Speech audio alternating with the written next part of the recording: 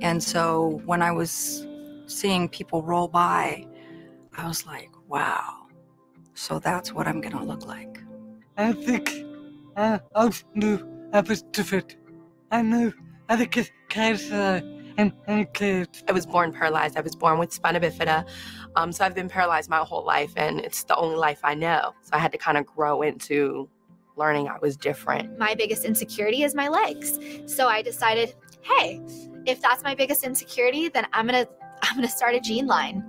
And all of the pictures are based around my jeans and my legs and other people's legs.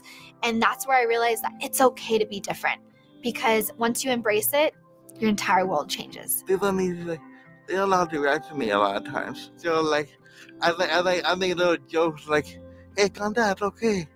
I'll be okay." I would have people treat me as if I wasn't really there, and I would have people treat me like they